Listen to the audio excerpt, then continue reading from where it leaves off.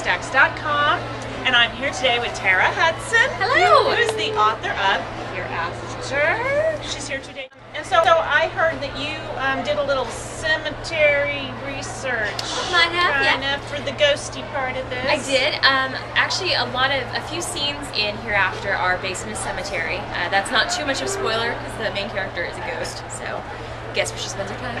um, and so uh, there is a cemetery that I used to be drugged to, uh, dragged to by my grandparents when I was a kid, and it's in this uh, really overgrown clearing and really creepy place, and I never knew much about it. I found out later it was my family cemetery. It's been around since the 1800s, which in Oklahoma is a big deal. Nothing's Well, been around since 1800s. Absolutely, yeah. Um, and so, so that place kept coming back to me when I was writing Hereafter, and I knew I wanted to incorporate it because it's one of those really creepy places. You think like, who who is here at night?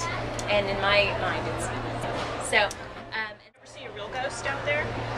you have my moments, you know. Sometimes it might be a deer, um, but I can pretend, right?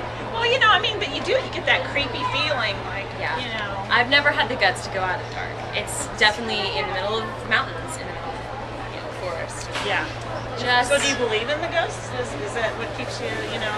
Yeah, I don't know. I, I like the idea about places have memories.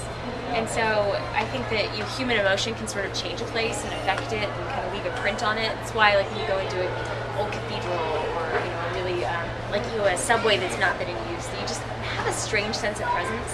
And so I kind of think that human emotions linger, and whether or not that's ghosts, it's- that's up to you guys.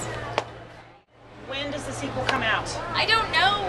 Um, I know it comes out sometime next summer. It's probably going to be May or June. Um, the sequel is Arise, and uh, we go back with Amelia and Joshua, but this time things are not so happy uh, anymore, and they have to go and do something, and it involves the French Quarter of New Orleans, so Ooh, which is the creepiest place on earth, and it's amazing. So, change of location. yes. Do we get to see um, any of our old friends? We might, we might, we might see a few. We might see some old ghost friends, and we're definitely gonna see some new ones. There's a lot of new villains, so and you're actually not gonna know who is a villain. So oh. I can't wait. I can't wait I it's wait. published. I'm dying. Okay, so everybody, look for her sequel, Arise, in stores next summer. And with that, we will see you in the stacks. Bye. Thanks for having me. Bye.